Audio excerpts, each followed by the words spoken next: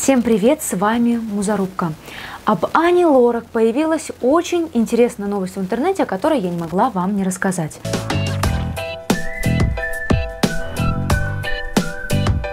Ани Лорак умоляет в слезах россиян простить ее.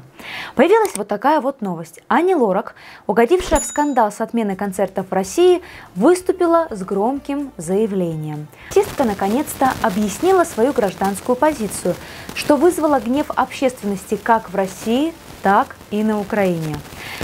Ани Лорак больше года металась меж двух огней.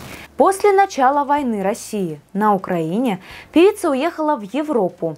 Оттуда тайно приезжала в Россию на день рождения детей Филиппа Киркорова. В итоге недавно Лорак вернулась в Москву и даже собрала новый тур по стране. В апреле у нее были запланированы концерты в Ростове-на-Дону, Воронеже, Краснодаре и Москве. Но планам не суждено сбыться. Ее послали прямым текстом на три буквы. Мэр Краснодара недвусмысленно дал понять, что Лорак на Кубани не рады. Вот что он сказал. Мы, жители, против того, чтобы в нашем городе устраивали шоу люди, которые признаются в любви правящей на Украине власти, воюющей против нас. Певица сутки хранила молчание и вот теперь решила объясниться. Она сказала, что является украинской певицей. Вот что сказала, цитата. «Я горжусь своим наследием и культурой. Ультиматум правительства моей страны, прижавший меня к стене, стал тем переломным моментом, который подтолкнул меня к переезду в Россию, где я была принята и продолжала расти как артист. Несмотря ни на что, Украина всегда в моем сердце. После чего она заверила, что никогда не оказывала военной помощи. Я могу помогать только в рамках гуманитарной миссии, чем и занималась всю свою жизнь.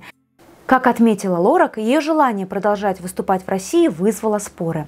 «Я хочу заверить своих поклонников, что мое решение не было продиктовано политикой и желанием занять чью-то сторону. Я музыкант, а не политик. Я буду продолжать петь для всех моих слушателей во всем мире».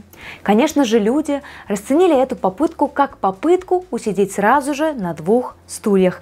Теперь ее проклинают как земляки, которые требовали определиться, так и российская публика, которая воспринимала Лорак как свою. Люди в комментариях стали писать следующее. Фу, как противно и двулично. Пытаешься, Лорак, и нашим, и вашим. Не ври сама себе, скажи, за кого ты. Как можно быть за Россию и в то же время быть за Украину? Ты в своем уме? Лорак, мы от тебя такого не ожидали. А как вы относитесь к этой новости и считаете ли вы, что Лорак пытается изо всех сил усидеть на двух стульях? И как вы думаете, что у нее из этого выйдет? Обязательно пишите ваши мысли, ваши доводы и умозаключения в комментариях комментариях. Я все буду обязательно читать. Также ставьте лайк под этим видео, чтобы не пропускать новые интересные видеоролики. Обязательно подписывайтесь на этот канал. До скорой встречи!